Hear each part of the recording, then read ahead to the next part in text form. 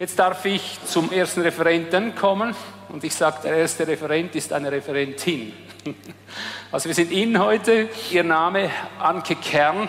Wie soll ich sagen, es gibt Schlüsselerlebnisse, Schlüsselereignisse, die sind so krass, dass sie unser ganzes Leben auf den Kopf stellen können. Ich hatte selber mindestens drei solche Schlüsselerlebnisse, die mein Leben auf den Kopf gestellt haben. Das erste war, als Gott in mein Leben trat. Das zweite Schlüsselerlebnis war, als meine Frau Anni in mein Leben trat. Und das dritte war, als äh, die Mobilfunkanbieter mein Leben traten.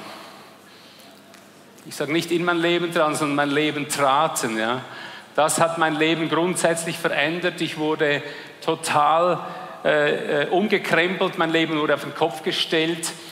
Und genau das ist meine Hoffnung, mein Wunsch, wenn jetzt unsere erste Referentin hochkommt nachher, dass sie auch unser Leben auf den Kopf stellt, dass wir so ein Schlüsselerlebnis bekommen durch das, was sie sagt. Ich darf jetzt schon willkommen heißen, Anke Kern. Sie wird über 5G uns unterweisen. Da ist sie.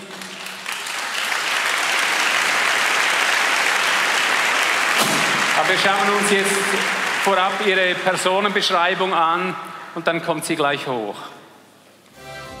Anke Kern. Geboren 1962 in Herford, Deutschland. Verheiratet, hat eine erwachsene Tochter. Ausbildung 1983 bis 1987 Studium der Betriebswirtschaft. Diplomarbeit zum Thema Umweltpolitik im Alpenraum.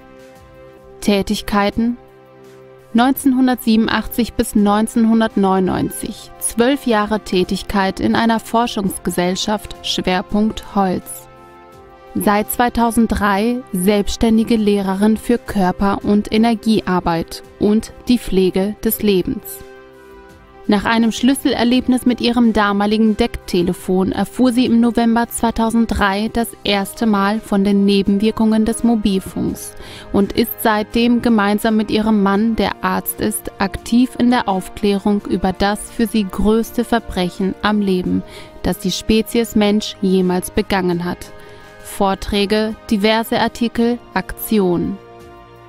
Newsletter und weitere Aktionen, an denen sie beteiligt ist seit 2007 zu umwelt- und gesundheitspolitischen Themen Schwerpunkt Mikrowellentechnologie. Seit 2014 auch über die NATO-Regime-Change-Kriege. Initiierung und Förderung verschiedener Friedensprojekte für den Frieden mit Russland wie etwa Wir Europäer sagen Nein zu einem Krieg mit Russland, wo sie zum Kreis der Erstunterzeichner gehört. Ihr Vortragsthema heute digitalisiert in eine strahlende Zukunft, todsicher.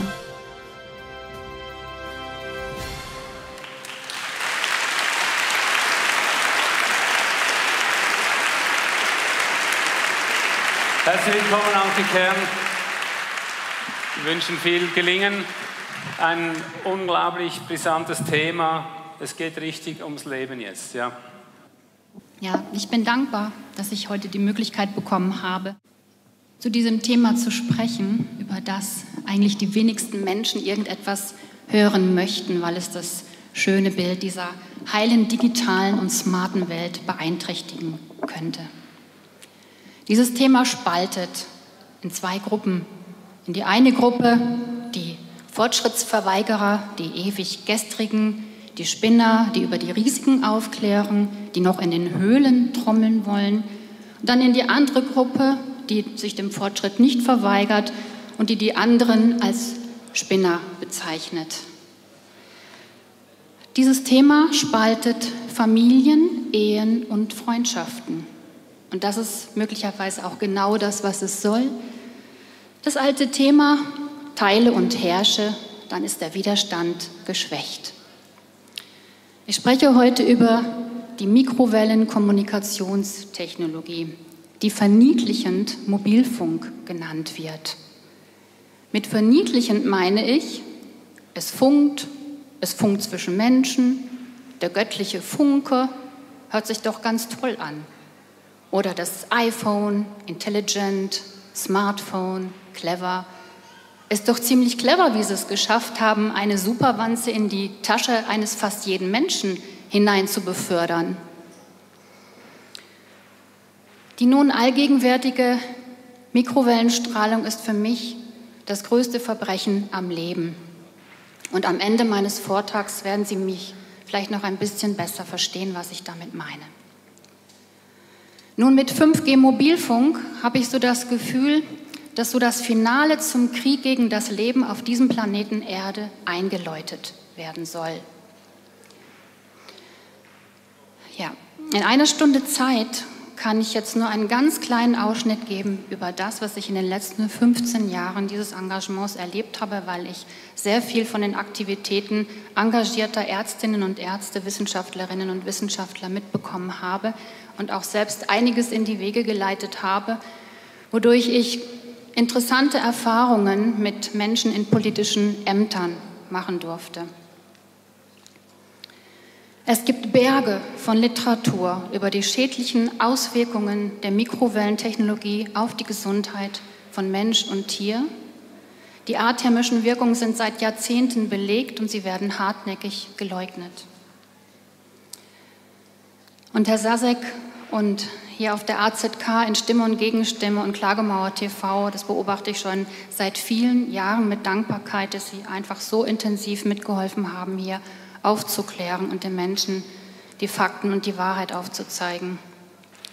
Es geht in meinem Vortrag nicht darum, digitale Medien, die ich selber gerne, aber verkabelt nutze, zu verteufeln.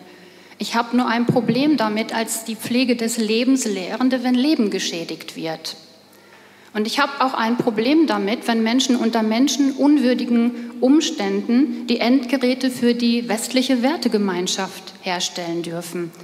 Ich meine hiermit zum Beispiel den Abbau von seltenen Erden durch Kinderarbeit oder auch durch die unmenschlichen Arbeitsbedingungen in den Produktionsstätten, die und als Ausdruck zum Beispiel dieser Zustände und auch natürlich auf, möglicherweise aufgrund der hohen Strahlenbelastung dort auch die hohe Selbstmordrate von Menschen, die im Telekommunikationsbereich arbeiten.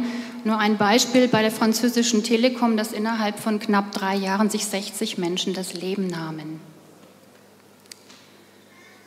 Im Gegensatz zu den Aufklärenden über Gentechnik, über Glyphosat und anderes haben wir über dieses Thema Aufklärenden einen unglaublichen Gegenwind aus der gesamten Bevölkerung auszuhalten.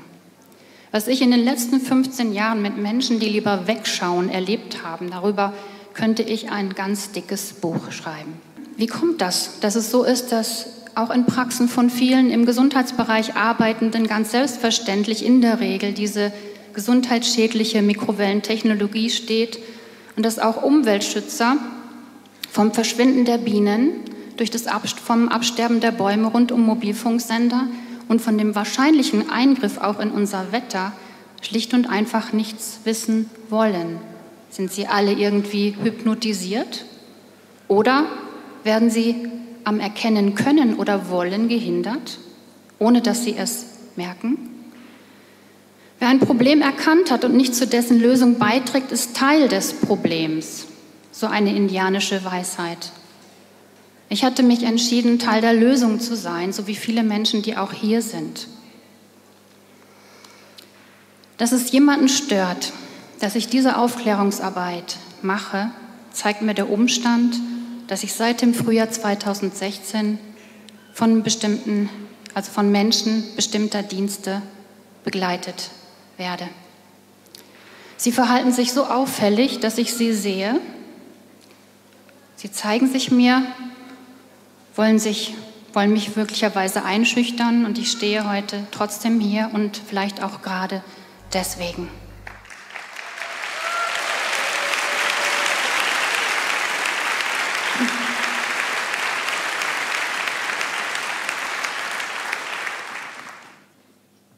Ich habe viele Bekannte und auch Familienangehörige darauf aufmerksam gemacht. Ich habe gedacht, ich helfe euch nicht dabei, das im Dunkeln zu lassen. Das soll ans Licht.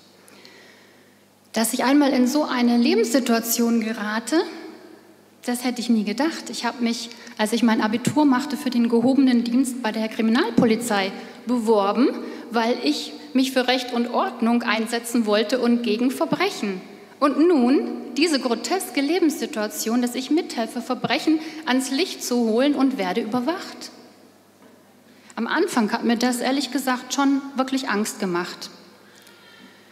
Nach einer Weile bin ich ganz schön wütend geworden und dann eigentlich nur traurig, dass es immer wieder Menschen gibt, die diese Arbeit machen, die andere Menschen daran hindern wollen, die Wahrheit ans Licht zu bringen und sich auch für den Frieden zu engagieren. Und viele, wie wir wissen, sind schon aus ihrem Leben geholt worden, die das getan haben. Und die Menschen, die dies tun, die haben offensichtlich kein Bewusstsein dafür, dass sie das schlimmste Verbrechen begehen, was ein Mensch begehen kann, einem anderen das Leben zu nehmen. Und das hat Konsequenzen für ihren weiteren Seelenweg. Und ich habe auch angefangen, für diese Menschen, die meine Wege kreuzen, zu beten.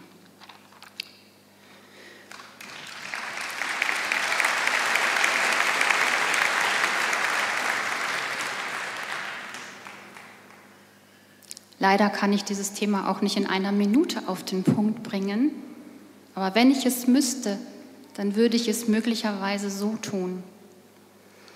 Noch niemals wurde die, wurden die Menschen in Bezug auf ein gesundheits- und umweltpolitisches Thema mit so großem Aufwand durch die gute Zusammenarbeit der Branche mit der Politik und den Systemmedien an der Wahrheit vorbei informiert wie zum Thema Mobilfunk dass diese Risikotechnologie nun alle gesellschaftlichen Bereiche durchdrungen hat, die Menschen abhängig und süchtig geworden sind und nach mehr schreien, ist der satanische Geniestreich der dunklen Kräfte auf diesem Planeten Erde des letzten Jahrhunderts.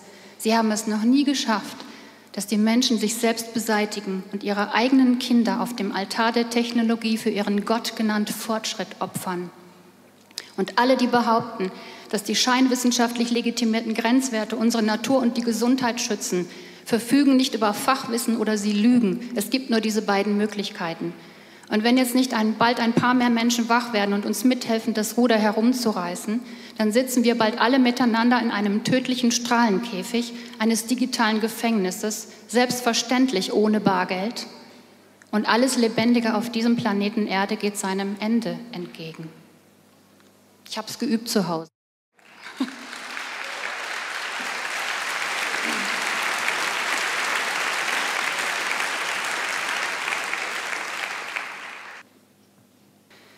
Als Studentin, als ich mich mit dem Thema Umweltpolitik im Alpenraum beschäftigt habe, habe ich gedacht, wie schön muss es doch sein, wenn man für eine Umweltbehörde arbeitet und diese wertvolle und auch für mich wichtige Arbeit tut.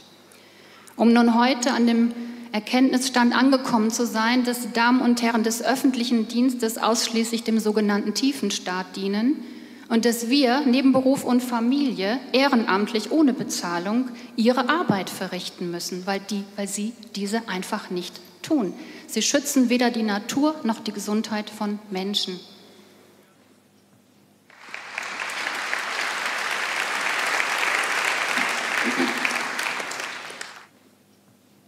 Dass die Branche selbst kein Interesse daran hat, die Schattenseiten ihrer Produkte ans Licht zu holen, kann man ja noch verstehen.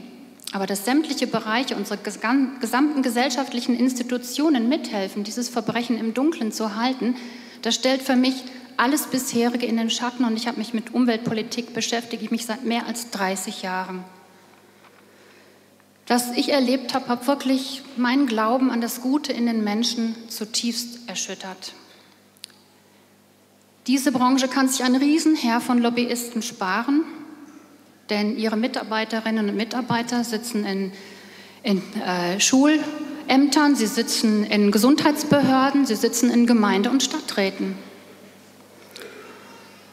Ich möchte in diesem Zusammenhang noch einmal auf das Buch Der gekaufte Staat hinweisen von Sascha Adamek und Kim Otte, das 2008 erschienen ist und auch auf ein Buch, das ich empfehle, sich wirklich zu besorgen. Es erschien 2003 von den Journalisten Grasberger und Kotteder mit dem Titel Mobilfunk, der Freilandversuch oder ein Freilandversuch am Menschen. Es ist vor 15 Jahren erschienen und zeigt insbesondere das Netzwerk von Politik, Medien und der Mobilfunkbranche auf und geht auch hin, bietet praktisch einen wirklich ganzheitlichen Blick dieses Themas bis hin zu der Mikrowellenwaffentechnologie, die genau die athermischen Wirkungen nutzt, die, die es offiziell nicht gibt. Die Wirkungen des Elektrosmogs verstehen heißt das Leben selbst begreifen. Das ist das Zitat eines bekannten Biologen, der der Freund des früheren Siemens Entwicklungsingenieurs Günther Volkroth, Dr. Günther Volkroth war. Er hatte seinen Freund, diesen Siemens Entwicklungsingenieur, auf das Baumsterben durch Radaranlagen aufmerksam gemacht. In, und in den 80er Jahren hat eben dieser Siemens Entwicklungsingenieur äh, dem Bundesamt für Strahlenschutz, also Mitte der 80er Jahre schon, belegt, dass Baumsterben und das Waldsterben mit den Radaranlagen in Verbindung war, in Verbindung stand, ohne irgendwelche Konsequenzen. Wie ist das gemeint, das Leben zu begreifen, wenn man die Wirkungen des Elektrosmogs versteht?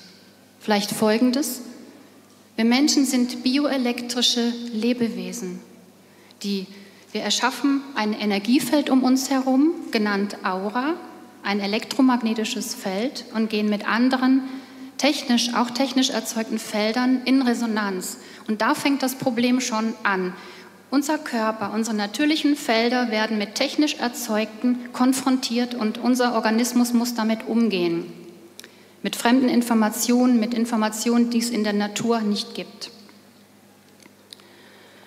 Es gibt einen britischen Dokumentarfilm aus dem Jahr 2011, der online ist, auf englischer Sprache, aber sehr gut zu verstehen der im Titel das benennt, was es ist.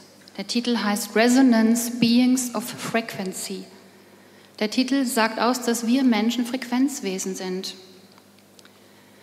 Und dieser Film ist auf Vimeo zu finden. Und dieser Film zeigt auch auf, welche Konsequenzen es hat, wenn wir mit diesen widernatürlichen elektromagnetischen Feldern in Resonanz gehen müssen. Und nicht nur wir, sondern eben auch Tiere. Auch Wetterphänomene sind elektromagnetische Phänomene. Und manche Menschen haben ja allein schon Mühe genug bei Wetterumschwüngen. Ja, also Menschen, die mal Knochenbrüche hatten oder Migräne oder chronische Erkrankungen wie Rheuma zum Beispiel, die merken äh, den Wetterumschwung schon ganz intensiv. Also das sind auch elektromagnetische, aber natürliche Phänomene, die den Menschen, wie gesagt, schon genug zu schaffen machen können. Die Bioelektrizität des menschlichen Körpers ist messbar und das nutzt man beim EEG, um die Hirnströme aufzuzeichnen, beim EKG, um die Herzströme aufzuzeichnen. Es gibt das EMG für die Muskelströme und das EDA für die Hautströme. Und das Magnetfeld unseres Hirns und des Herzens kann man sogar noch meterweit von uns entfernt messen. Also das macht uns als bioelektrische Lebewesen aus und deswegen sind wir alle elektrosensibel und nicht nur ein paar Sensibelchen.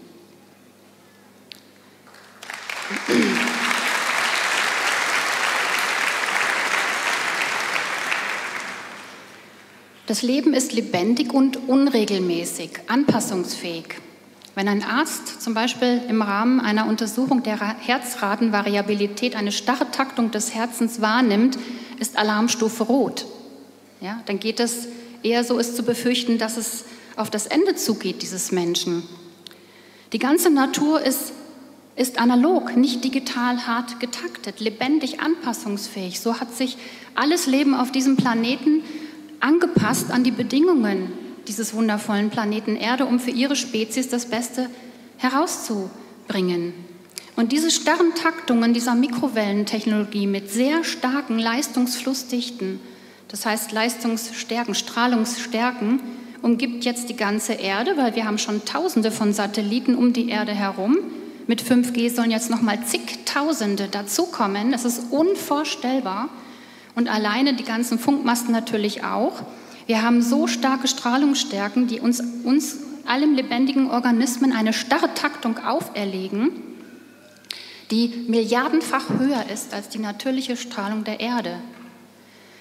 Ein, ich war auf einem Strahlenkongress im Jahr 2014. Da war auch ein Referent, das ist ein ehemaliger Geheimdienstagent Barry Trower, der vielleicht für einige bekannt ist, der hat ein ganz gutes Beispiel gebracht, genau für, dieses, für diese starre Taktung. Er hat gesagt, stellen Sie sich vor, Sie haben 60 Kilogramm, Sie springen auf einem Trampolin, auf einem größeren Trampolin, wo noch jemand dazukommen kann. dann kommt so ein richtiges Schwergewicht von 120 Kilo und fängt an, in seinem Rhythmus zu schwingen. Welchem Rhythmus müssen Sie, können, meinen Sie, Sie können Ihren eigenen Rhythmus noch springen? Oder Sie müssen sich dem Stärkeren anpassen? So hat er es gesagt, dass wir gar keine Wahl haben. Diese Stärkere ist stärker als wir. Das zwingt uns diese Taktung auf.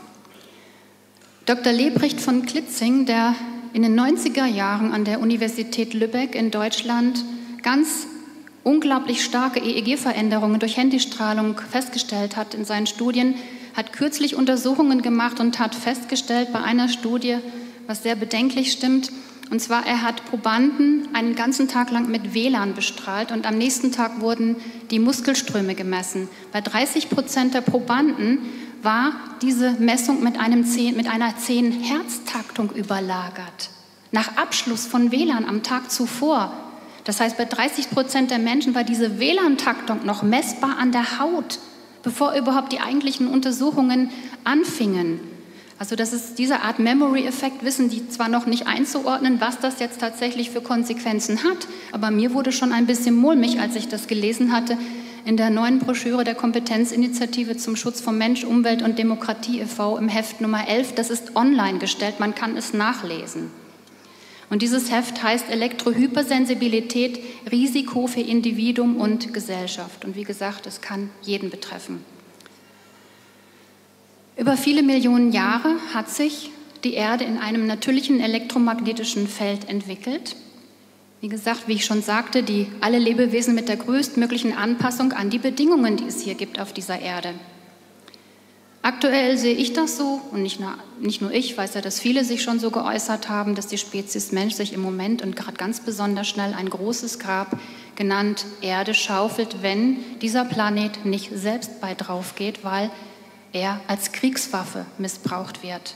Das hat die US-Wissenschaftlerin Rosalie Bertell in ihrem Buch Kriegswaffe Planet Erde aufgezeigt, dass die Militärexperimente tatsächlich sogar diesen ganzen Planeten gefährden können. Dass es nicht nur um das Leben auf ihm geht. Die Erde wäre vielleicht froh, wenn die Spezies Mensch als Parasit endlich weg wäre. Ja, dann könnte die Natur mal aufatmen.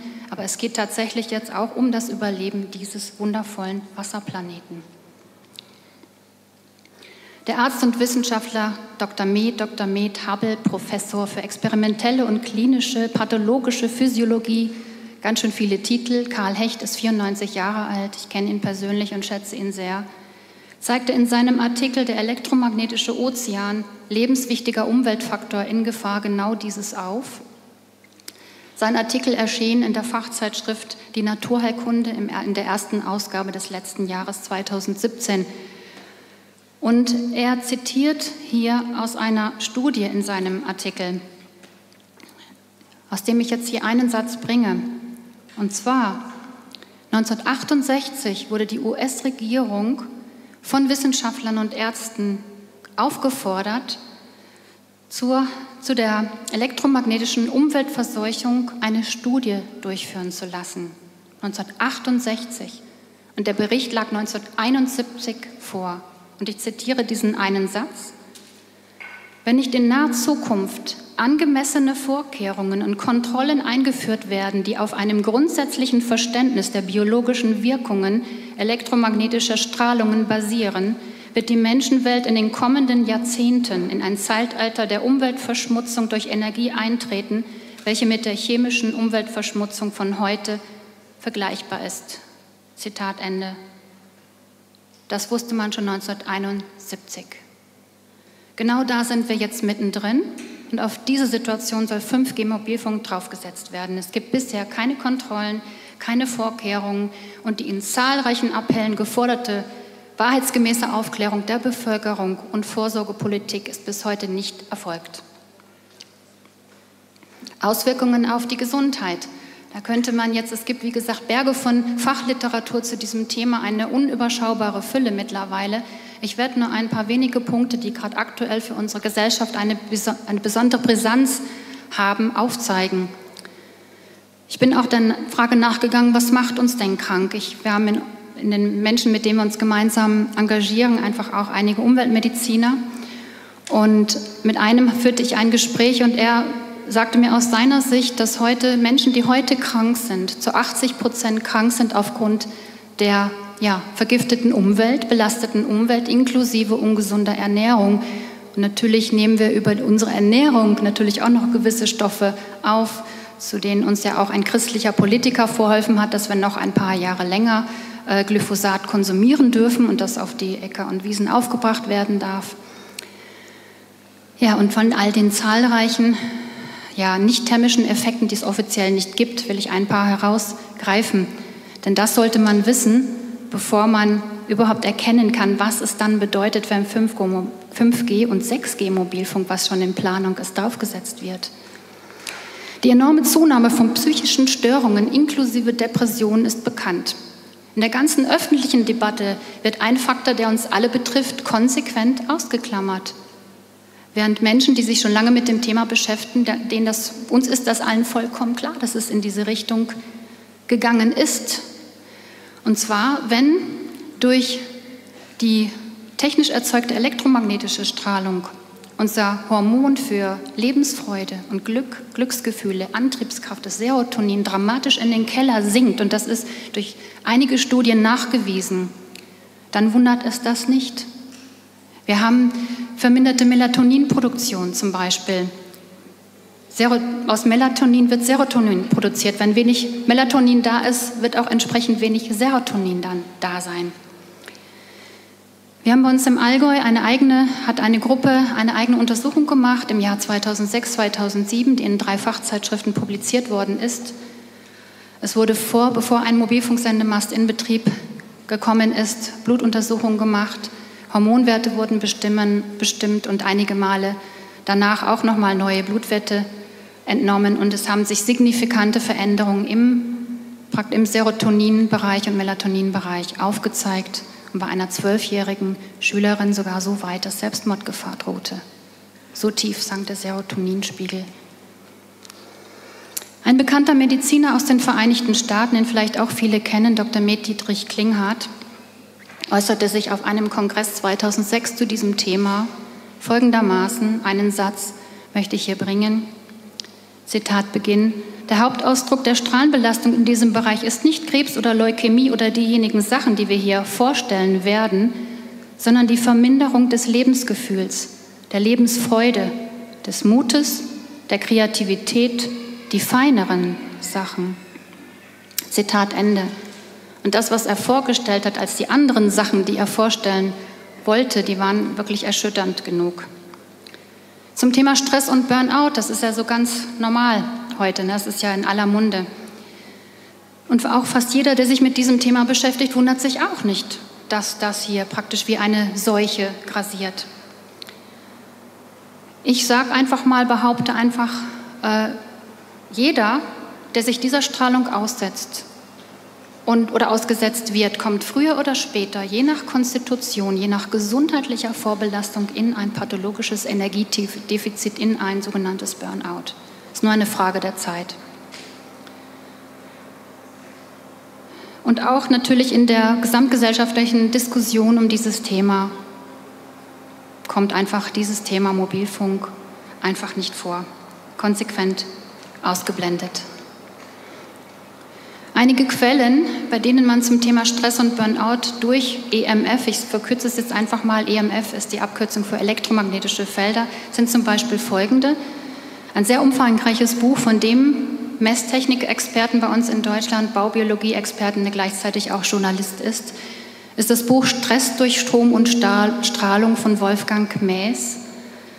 Und auf seiner Internetseite, Startseite, sind sehr viele Aktualisierungen auch von diesem Herbst, wo er auch etwas zur Verfügung stellt zum Thema Antibiotikaresistenz sowie Vermehrung von Bakterien durch technisch erzeugte EMF. Das sollte man wissen.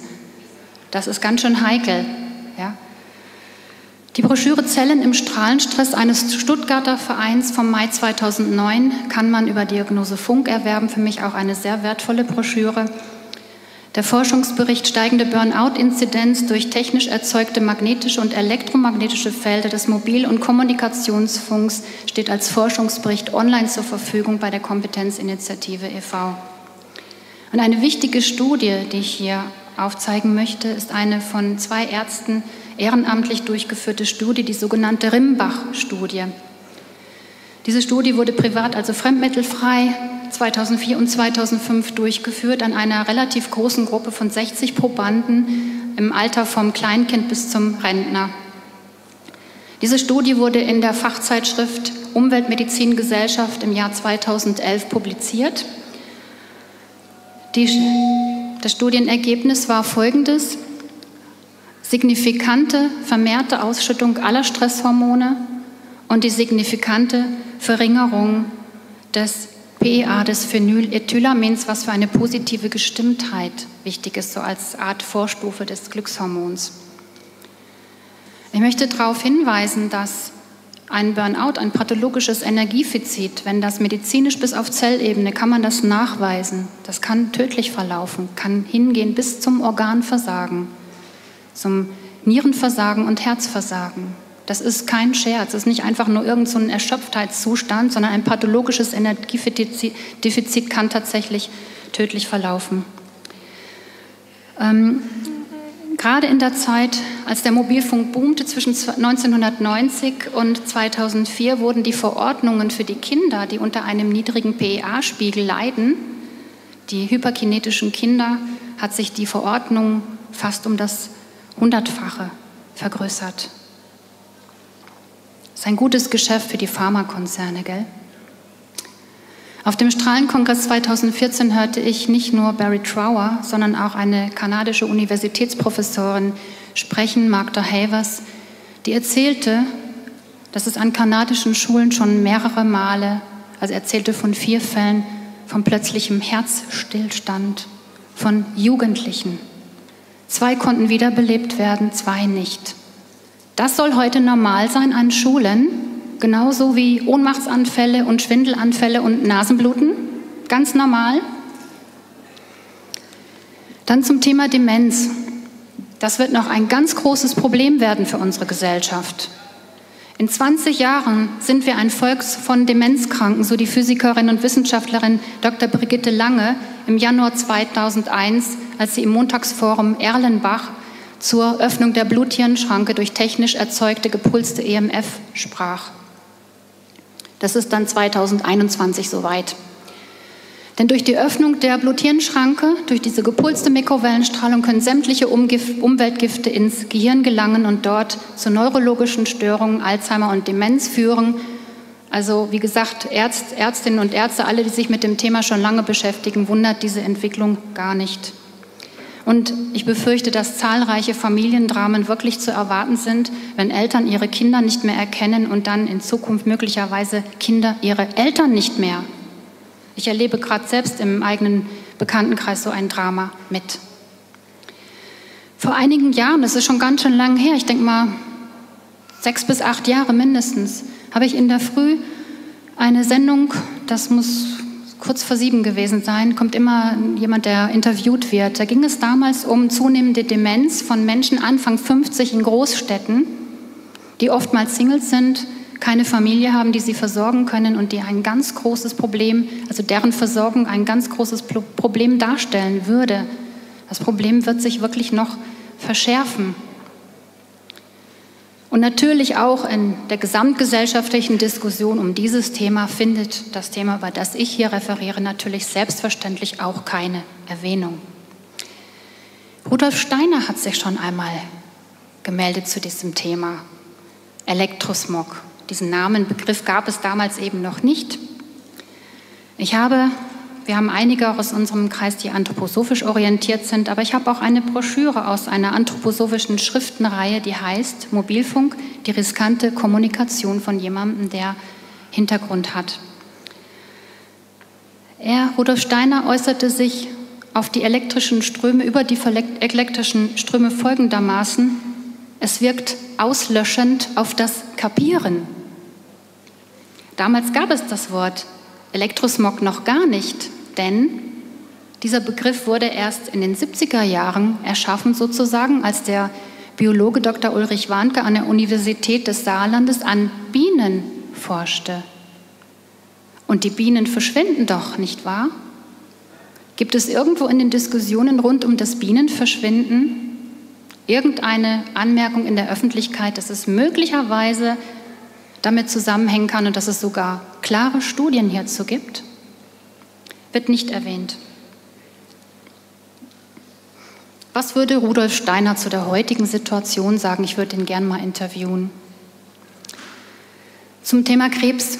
Das Krebsrisiko ist, ist belegt durch diese Art der technisch erzeugten Strahlung. Und ich möchte hinweisen auf meinen Artikel beim OH, Mobilfunkstrahlung und das verdrängte Krebsrisiko, der online gestellt ist. Wussten Sie schon, dass als die WHO 2011 die Mobilfunkstrahlung in die Kategorie 2b einstufte, wichtige Studien, wie zum Beispiel die europaweit durchgeführte Reflex-Studie an zwölf Forschungseinrichtungen in sieben EU-Ländern, die Doppelstrangbrüche an der menschlichen DNA nachgewiesen hat, so wie es zuvor nur von Röntgenstrahlung und von technisch erzeugter radioaktiver Strahlung erwiesen war, dass diese Forschungsergebnisse überhaupt gar nicht in die Bewertung eingeflossen sind. Wenn, und auch von weiteren Studienergebnissen, die dieses nachgewiesen haben, sind zahlreiche Studien nicht in die Bewertung eingeflossen. Diese Bewertung hätte damals schon viel höher geschehen müssen. Dazu erzähle ich später noch ein bisschen mehr. Und vor allen Dingen auch die Rolle der Medien. Man hat das damals so ins Lächerliche gezogen, ach Mobilfunkstrahlung, das ist ja genauso gefährlich wie Kaffee, aber die Lückenpresse hat leider versäumt oder hat versäumt, ich meine, das, deswegen heißt sie ja so und arbeitet sie ja so, hinzuweisen, was denn sonst noch so alles in dieser Kategorie 2b drinsteckt, wie zum Beispiel Benzol und DDT. Ja, also Kaffee ist jetzt genauso bekömmlich wie DDT. Nein, die Studien waren mit Kaffeesäure. Ich möchte mal gerne sehen, wie lange Sie gesund bleiben oder, bleiben oder ich, wenn ich mich ausschließlich nur noch von Kaffeesäure ernähren würde. Ja? Das ist, so das ist genau das, was Sie aufgezeigt haben, das Verdrehen aus dem Zusammenhang rausnehmen, nicht alles bringen, sondern nur genau den Teil, der Ihnen nützt, um das darzustellen, was Sie darstellen möchten.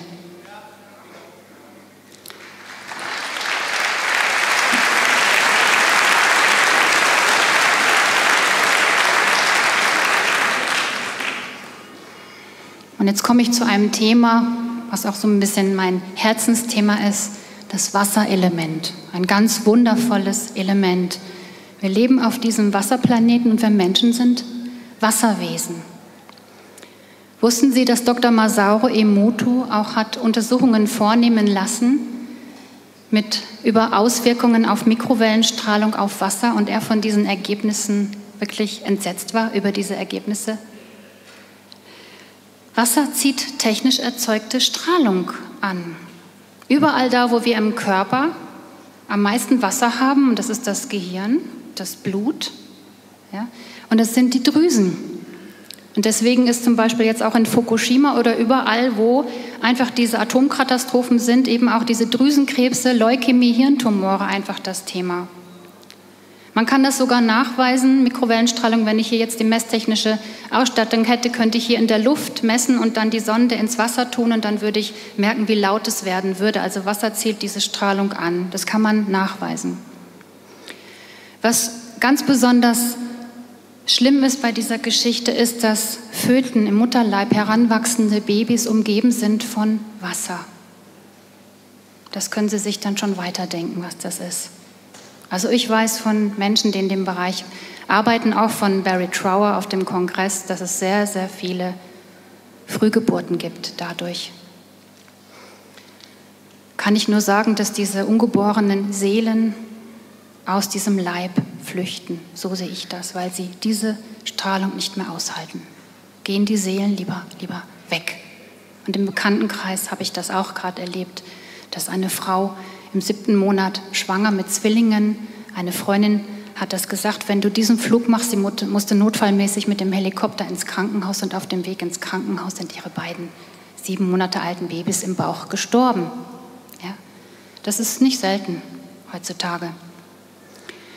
Ein Team an der Universität Tel Aviv ging vor Jahren der Frage nach, ob Wasser ein Gedächtnis hat und bestrahlte zwei Stunden lang mit herkömmlicher Mobilfunkbelastung, mit schwachem EMF das Wasser und hat festgestellt, dass die Bakterien in diesem Wasser zwei bis dreimal sich schneller vermehrten und länger lebten.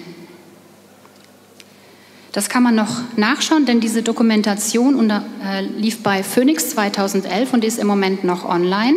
Heißt, unser Wissen ist ein Tropfen Wasser, das unbekannte Wesen.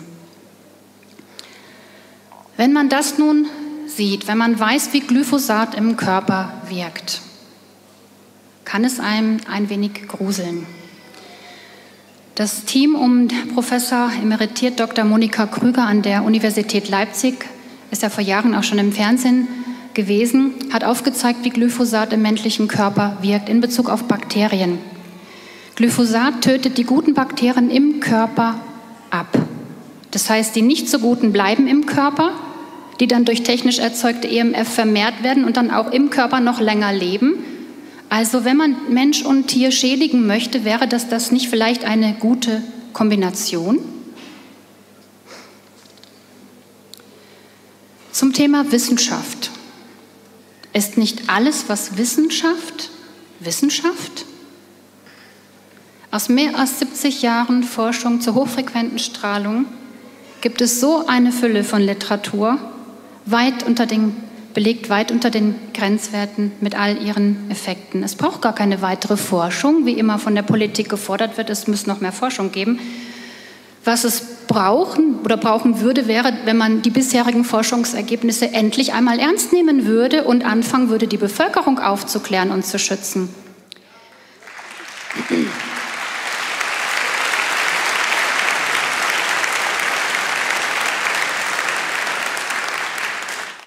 Und ich kann einfach nur sagen, dass beim damaligen Stand des, äh, der, der Wissenschaft 1992, als der erste Mobilfunksendeturm in Deutschland errichtet worden ist, diese Technologie einfach nie hätte ausgebaut werden dürfen. So klar war eigentlich schon die wissenschaftliche, äh, der wissenschaftliche Kenntnisstand.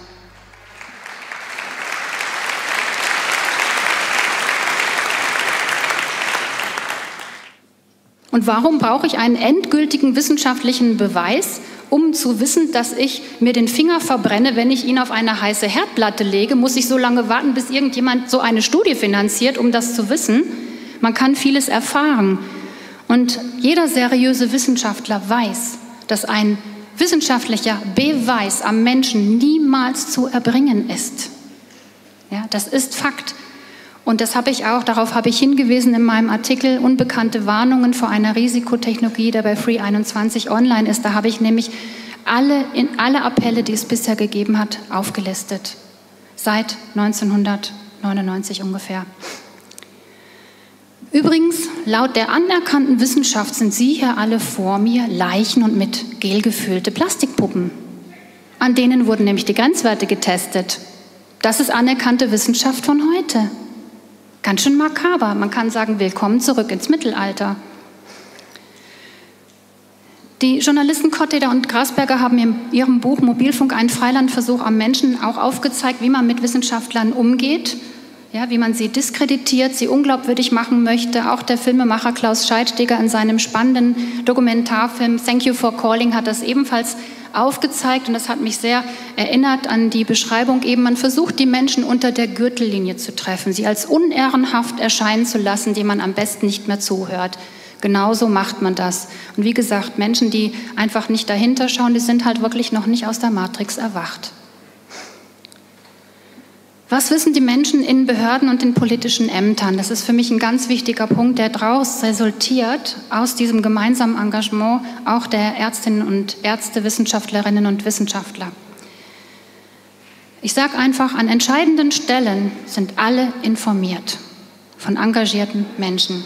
Schon 1984 hat jemand, den ich persönlich kenne, 1984 unseren damaligen Bundeskanzler Kohl angeschrieben und hat ihm gesagt, dass er messtechnisch belegen kann, dass das Waldsterben mit der elektromagnetischen Belastung in Verbindung steht.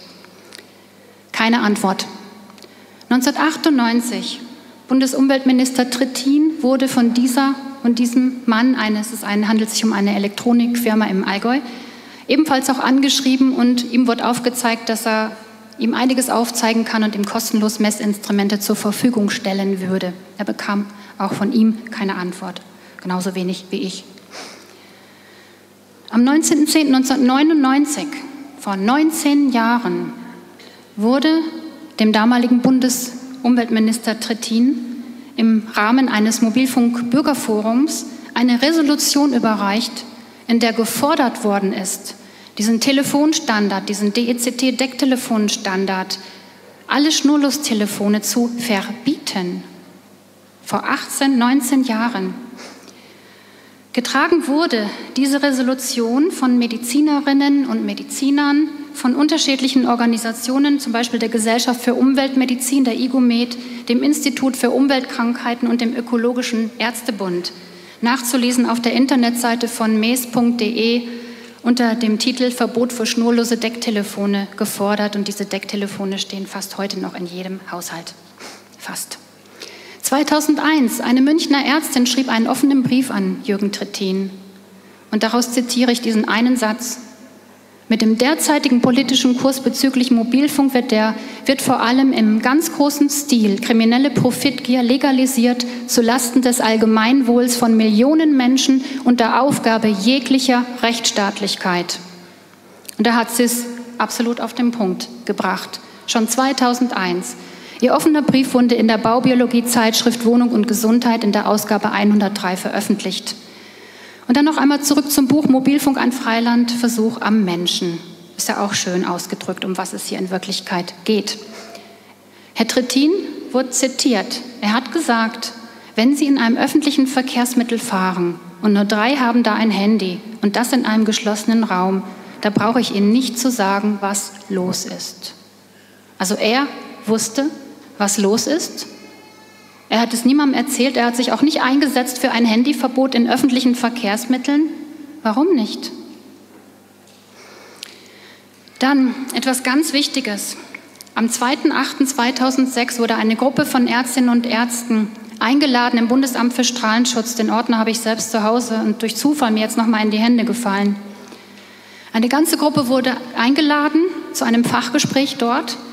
Man hatte ca. 250 Fallgeschichten von durch Mobilfunk erkrankte Menschen aufbereitet und auch dort in Kurzreferaten vorgestellt. Und dieses ähm, Protokoll ist auch online. Man kann auch wirklich sehen, wer alles dabei war.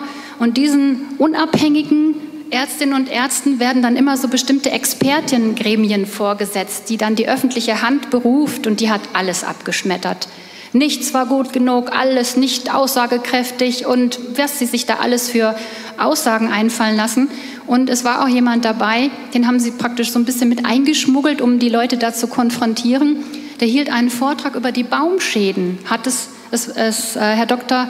Ingenieur Volker Schorb, der auf seiner Seite puls-schlag.org diesen Vortrag auch zur Verfügung stellt. Er hat es dokumentiert, ganz klar den wissenschaftlichen Beweis erbracht an den Bäumen im Bundesamt für Strahlenschutz.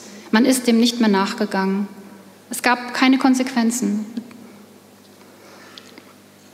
Dann für mich selbst. Ich habe eine Aktion in die Wege geleitet und durch Zufall habe ich 2007 im Frühjahr eine Sendung gesehen im Fernsehen und habe in dieser Zeit habe ich gerade mit jemand anders zusammen Schulprojekte ausgearbeitet, um den Kindern und Jugendlichen zu überlegen, wie können wir Kinder dahin führen, zu begreifen, dass etwas Wirkung haben kann, was wir Menschen mit unseren Sinnesorganen nicht wahrnehmen können.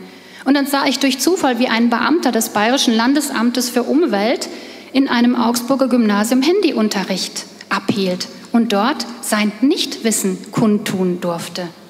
Das ist so unglaublich, dass ein Beamter einer Behörde in, die, in, den Schulen unterwegs war und offensichtlich nicht auf dem internationalen Stand des Wissens war und dieses aber dann so kundtun durfte. Wir sind dann, wir haben mehrere Initiativen zusammengewürfelt. Wir haben den aufgeklärt, diesen Herrn, weil er offensichtlich noch nicht aufgeklärt war über das, und haben ihm zahlreiche wissenschaftliche Studien belegt. Wir haben einen Schriftverkehr hin und her gehabt. Und was das ganz interessante äh, Erkenntnis daraus war, dass immer jemand anders geantwortet hat auf unsere kleinen Doktorarbeiten. Mit keinem Wort sind sie auf irgendeinen Inhalt unseres Schreibens eingegangen. Wir, haben immer, wir konnten immer sehen, die haben das überhaupt gar nicht gelesen, was wir denen geschrieben haben. Aber immer so schöne Textbausteine äh, geschenkt bekommen in den Briefen wie wir nehmen die Sorgen und Ängste der Bürger ernst. Das habe ich in so vielen Schreiben gelesen. Das müssen die von irgendjemandem vorgegeben haben, bekommen haben.